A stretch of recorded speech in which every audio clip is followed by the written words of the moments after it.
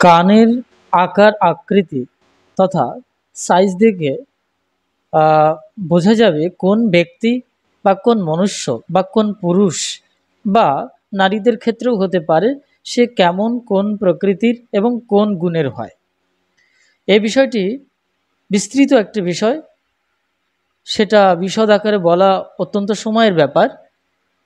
তবুও সংক্ষেপের ভেতরে বলছি সামুদ্রিক শাস্ত্র অনুসারে এই বিচার বিশ্লেষণ কিন্তু করা হয়েছে যে আমাদের মনুষ্যের যে শারীরিক পরিকাঠামো, অর্থাৎ আমরা দেখতে যেমন হই, তার বাহ্যিক যে রূপ, সেটার উপরে যেটা পর্যবেক্ষণ করেছে অঙ্গ প্রত্যঙ্গকে দর্শন করে তা আকার আকৃতির উপরে মান্যতা দিয়েই কিন্তু অনেক বিচার বিশ্লেষণ করে তাদের গুণাগুণ নিয়ে আসা হয়েছে। এটা কিন্তু সামুদ্রিক শাস্ত্রের রূপ পরিকাঠামোর সাপেক্ষে তার লক্ষণ বিচার।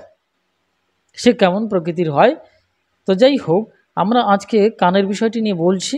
তো এখানে অনেক মায়েরা জানতে চান যে মহাকাল স্বামীজি মহারাজ তো শুধুই নারীদের সম্পর্কে বলছেন কে কেমন প্রকৃতির হয়। তো পুরুষদেরকে কিছু বলুন যে এমন কিছু শারীরিক অবয়বের কথা বলুন, যেটা দেখে আমরা বুঝতে পারব এই পুরুষ এই প্রকৃতির হয়। তো ইন ডিটেল শারীরিক তত্ত্বের উপরে বলা তো বহুত কঠিন, তো একটা পার্টের উপরেই বলছি শুধু কানের উপরে। এটা পুরুষের ক্ষেত্রেও প্রযোজ্য এবং নারীদের ক্ষেত্রেও প্রযোজ্য। তো সাধারণত আমরা কান দেখে বিচার করব যে কে কোন প্রকৃতির। তবে প্রথমেই আমি বলব, দেখুন, এটা হচ্ছে রূপ পরিকাঠামো দেখে বিচার বিশ্লেষণ করা। শাস্ত্রের কিন্তু একটা বাহ্যিক দিক আছে, একটা ইন্টারনাল দিক আছে। এই ইন্টারনাল দিকটা অধিকাংশ শাস্ত্রকার বা টিকাকারগণ যেভাবে ব্যাখ্যা করেছেন, তার সেই অন্তরঙ্গ যে তত্ত্ব সেটা কিন্তু অধিকাংশ পাঠক সমাজ বুঝতে পারেন না। ফলে অনভিজ্ঞতার কারণে কিন্তু ভুল বিচার বিশ্লেষণ হয়ে যায়। আমি সর্বোপরি প্রথমেই গুরুত্ব দেব তার গুণ লক্ষণের উপরে। তার গুণ কেমন? তার মানে চারিত্রিক বৈশিষ্ট্যটা কেমন? তার চারিত্রিক বৈশিষ্ট্য ভালো না মন্দ? এটার উপরে কিন্তু মানুষের সত্যিকারের সুশ্রী যে অবস্থা, সেটা বিচার করা আমাদের পারম্পরিক ভাবধারাতেও বলা হয়েছে যে, যার মন যত বেশি সুশ্রী, সে তত বেশি সুন্দর। তো এখানে যদি কারোর পবিত্র মন থাকে, তার গুণ ভালো থাকে, অর্থাৎ সদ্গুণের হয়, তাহলে সে ব্যক্তি দেখতে খারাপ হলেও, তার কান খারাপ হলেও কিন্তু, আমি বলব, সে কিন্তু উৎকৃষ্ট স্থানে। ব্যক্তি বা পুরুষ বা নারী। তো যাই হোক, আপাতত সামুদ্রিক শাস্ত্রের যে বাহ্যিক রূপ পরিকাঠামোর সাপেক্ষে যে ব্যাখ্যা করা হয়েছে সেটা বলছি। সেটা হচ্ছে যে যাদের কান হ্রাস্য হয়, তারা কৃতিমান হয়। হ্রাস্য মানে খাঁটো, খর্ব, ছোট, ঠিক আছে? যাদের কান ছোট হয় বা খাটো হয়, তারা কৃতিমান হয়। কৃতিমান মানে বুঝতেই পারছেন, যাদের কীর্তি অর্থাৎ কর্ম ক্রিয়াকাণ্ডগুলো ভালো মাপের, ভালো জায়গার, যার দ্বারা যে কৃতিগুলো সুনাম বয়ে নিয়ে আসে, সুখ্যাতি বয়ে নিয়ে আসে এবং জগৎ কল্যাণের জন্য কাজে লাগে। এই অর্থে কৃতিমান। আর যাদের কান দীর্ঘ হয়, তারা হয় খ্যাতিমান। অর্থাৎ দীর্ঘ মানে বুঝতেই পারছেন, লম্বা হয়। আর যে ব্যক্তির কর্ণ রোমে পরিপূর্ণ, অর্থাৎ রোম মানে লোম বা পশম, পরিপূর্ণ, সে ব্যক্তি সুখ ভাগী হয়, অর্থাৎ সুখ ভোগ করতে পারে, ঠিক আছে? আর যে ব্যক্তির কর্ণে অধিক লোমস অর্থাৎ লোম বা রোম, সে ব্যক্তি বেশি দিন জীবিত থাকে না, এটা একটা নেগেটিভ কথা। অনেকের কানে আমরা অধিক পরিমাণে লোম দেখতে পাই। ঠিক আছে, সে ব্যক্তির ক্ষেত্রে বলা হয়েছে সে কম দিন জীবিত থাকে, বেশি দিন জীবিত থাকে না। যে ব্যক্তির কান বৃহৎ, অর্থাৎ বড়, সেই ব্যক্তি বা তারা ধনবান হন বা নরপতি অবস্থা লাভ করেন, অর্থাৎ রাজা হতে পারেন। এবার যে ব্যক্তির কর্ণ স্নিগ্ধ, মাংসল, বিস্তৃত, লম্বিত, সেই ধরনের ব্যক্তিরা রাজপদ লাভ করে থাকে। অর্থাৎ রাজার সমকক্ষ অবস্থা লাভ করে থাকে, না হলে রাজকর্মচারী হতে পারে, অনেক কিছুই হতে পারে। তো এই যে স্নিগ্ধ, লম্বিত, মাংসল এবং বিস্তৃত বিস্তৃত মানে বেশ বড় সড়ো জায়গা নিয়ে আর কি মাংসল মানে মাংস সমন্বিত, অধিকাংশ মানে মাংসের পরিমাণ বেশি, লম্বিত মানে লম্বা আর স্নিগ্ধ মানে কোমল। তো এরকম যদি হয় তাহলে সে ব্যক্তি রাজপথ লাভ করে থাকে। যে ব্যক্তি বা যে পুরুষের বা যে মনুষ্যের কর্ণ মুশিকের ন্যায়, অর্থাৎ ইঁদুরের মতো, সে ব্যক্তি কি হয়? মেধাবী হয়। আমাদের ভেতরে অনেককেই দেখেছি আমাদের ভক্তদের ভেতরে একজন আছে যার কান হচ্ছে মুশিকের মতো, সত্যি? মানে ইঁদুরের কানের মতো, ইঁদুরের কানের ন্যায় মানে ওই রকম সাইজ হবে এরকম নয়, ওরকম দেখতে হবে। তো সে ব্যক্তি মেধাবী হয়, আর যে ব্যক্তির কর্ণ হচ্ছে গজকর্ণ, অর্থাৎ গজকর্ণ, অর্থাৎ হাতির কানের ন্যায় সে ব্যক্তি হয় সুপণ্ডিত, অর্থাৎ বিদ্বান ব্যক্তি হতে পারে। আর যে ব্যক্তির কর্ণ বৃহৎ, সে ব্যক্তি দীর্ঘজীবী হয়। বৃহৎ মানে বড়। দীর্ঘজীবী মানে অনেকদিন বেঁচে থাকতে পারে। আর যে ব্যক্তির কর্ণ কোমল মানে নরম, সে ব্যক্তি ধনহীন হয়। আমরা একটু আগে বলেছিলাম স্নিগ্ধ মাংস লম্বিত এই যে স্নিগ্ধ, এখানে আমি এখানে বলেছিলাম কোমল। স্নিগ্ধ মানে আসলে দেখতে খানিকটা সুন্দর এবং বিনম্র, কিন্তু এখানে শুধুই বলা হয়েছে কোমল, শুধুই কোমল যদি হয়, তাহলে সে ব্যক্তি ধনহীন হয়ে থাকে। যে ব্যক্তির কর্ণ দীর্ঘ ও বৃহৎ, সেই ব্যক্তি ধনবান হয় আর যে ব্যক্তির কর্ণ কুটিল, অর্থাৎ আঁকা বাঁকা অসম আঁকা বাঁকা সোজা নয়, সে ব্যক্তি পাপকর্মা হয়, অর্থাৎ পাপজনিত কর্ম আদি করে থাকেন।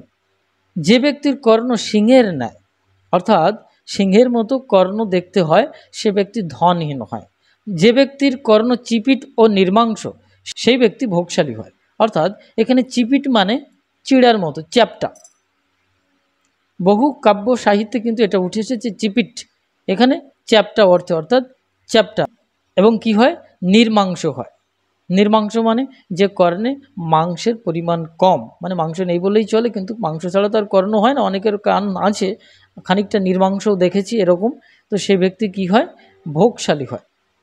এবার একটা গুরুত্বপূর্ণ বিষয় হচ্ছে যে ব্যক্তির কর্ণ হচ্ছে ক্ষুদ্র, যে মনুষ্যের কর্ণ হচ্ছে ক্ষুদ্র, সেই ব্যক্তি কৃপণ হন, অতীব কৃপণ হন মানে ভীষণ কৃপণ হন। আমার কানটা, আমার মনে হচ্ছে আমার কানটা একটু ছোট ছোট আছে। আপনারা দেখতেই পাচ্ছেন, আমার কানটা কিন্তু ছোট। আমি কিন্তু খুবই কৃপণ। এটা কিন্তু আমার ব্যক্তি চরিত্রে ফুটে উঠেছে। এটা একটা বাস্তব প্রমাণ। আর যে ব্যক্তির কর্ণ হচ্ছে শঙ্কুবধ অর্থাৎ শঙ্কুর মতো মানে এক ধরনের শুল অস্ত্র, যেটা রাজকর্মচারীদের ক্ষেত্রে ব্যবহার করা হতো প্রাচীনকালে।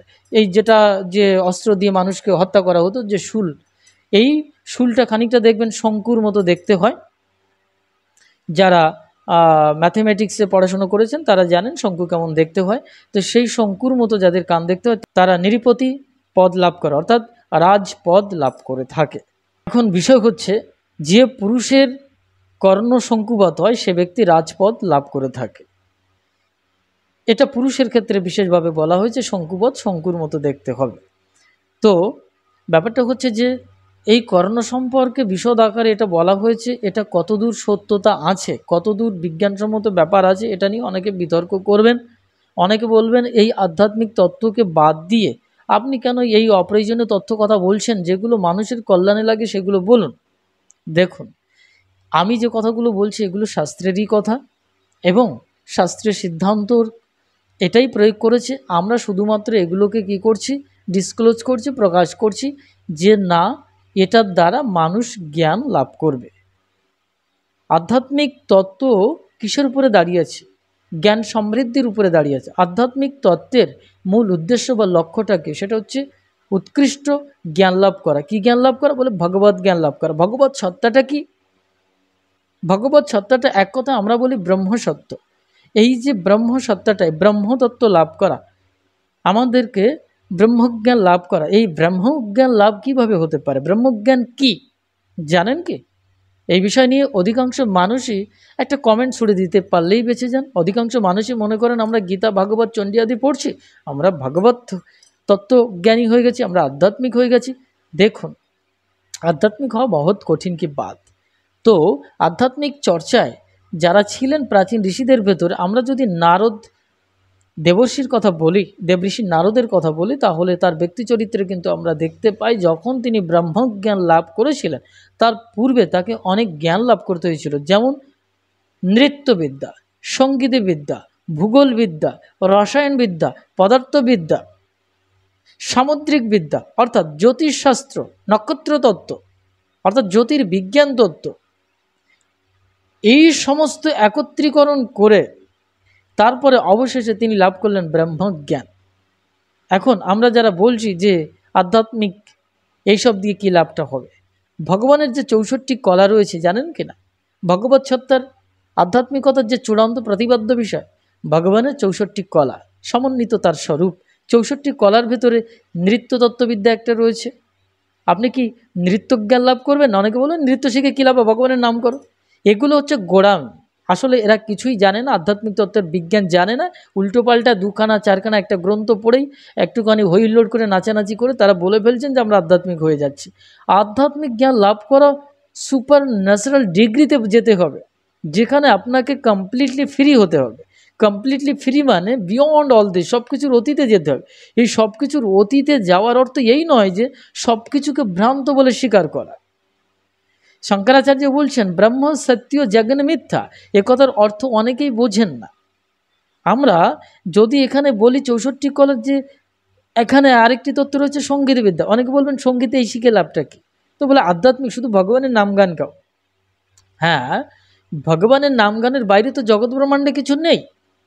একটাই সত্তা আছে, সেটা হচ্ছে ব্রহ্মসত্ত্ব ব্রহ্মসত্তা ব্রহ্ম শব্দ শব্দ ব্রহ্মেতে, শব্দ মাত্রই ব্রহ্ম। কিন্তু সেখানে একটা গুণাগুণের একটা সংমিশ্রণ ঘটেছে এগুলো অস্বীকার করা যায় না। তা সত্ত্বেও মূল সত্য হচ্ছে যে চৌষট্টি যে কলা, চৌষট্টি যে যে আর্ট, যার সমন্বিত যে রূপ, সেটা হচ্ছে ভগবত সত্তা। যেখানে কিন্তু একটা বিছানা, একটা তত্ত্ব রয়েছে। আপনাকে বিছানা করা শিখতে হবে, শয্যা তৈরি করা শিখতে হবে। এটাও ভগবানের চৌষট্টি কলার একটা অঙ্গ। সেখানে যদি আমরা বৈষ্ণবী ফিলোসফির শ্রীকৃষ্ণ চরিত্রে দেখি, অধ্যয়ন করি, সেখানে কিন্তু অষ্ট সখীর মূল যে সখী, তার ভেতরে কিন্তু অষ্টগোপী তার ভেতরে কিন্তু একজন গোপীকে পাচ্ছি, সেখানে কিন্তু তিনি তন্ত্র আদি জানছেন মন্ত্র আদি জানছেন, যেটাকে আমরা প্রচলিত ভাষায় বলি যে তুকতাক কালা জাদু, সর্পমন্ত্রে মন্ত্র সেটা, সেখানে কিন্তু উৎকৃষ্ট এই তন্ত্রবিদ্যা তাকে জানতে হচ্ছে। সেখানে কিন্তু শয্যা বিদ্যা তাকে জানতে হচ্ছে। সেখানে কিন্তু এই জ্যোতিষ নক্ষত্র বিচার এটাও কিন্তু জানতে হচ্ছে। এটা অষ্টসখীদের ভেতরে রয়েছে। এমনও রয়েছে যে তাম্বুল অর্থাৎ পান তৈরি করে দিচ্ছেন শ্রীকৃষ্ণ রাধারানীর জন্য। পান তৈরি করার আবশ্যকতা কী আছে? শ্রীকৃষ্ণ রাধারানীর চরিত্রে শুধু তো প্রেম, ভগবানের নাম করলেই হয়ে যাবে। তো পান কোথার থেকে আসলো? দেখুন এগুলোই হচ্ছে আধ্যাত্মিক তত্ত্বের সাইন্টিফিক্যাল বিজ্ঞানসম্মত দিক। এই বিজ্ঞানসম্মত দিক যতক্ষণ না আপনি না জানতে পারছেন, ততক্ষণ পর্যন্ত আমাদের যে পর্যালোচনা, যে আধ্যাত্মিক তত্ত্ব তথা সামুদ্রিক শাস্ত্রের যে বর্ণনা, সেগুলোকে মানুষ উপলব্ধি করতে পারেন না বা বুঝতে পারেন না। ইহারও ভেতরে সাইন্টিফিক্যাল তত্ত্ব অবশ্যই আছে, সেটাকে নিয়ে অধ্যয়ন করতে হবে এবং ভালোভাবে জানতে হবে, তারপরে জানা যেতে পারে। আদারই সম্ভব নয়। সুতরাং সামুদ্রিক শাস্ত্র অনুসারে, বৃহৎ সামুদ্রিক শাস্ত্র অনুসারে যে কর্ণ লক্ষণ বর্ণিত হয়েছে বা আলোকপাত করলাম, সেটা ব্যবহারিক দৃষ্টিকোণ থেকে বা বাহ্যিক দৃষ্টিকোণ থেকে ঠিক, আবার অন্তরাল দৃষ্টিকোণ থেকেও কিন্তু বিচারের বিষয় আছে, সেটা অধিকাংশ মানুষ জানেন না, সেটাও জানতে হবে।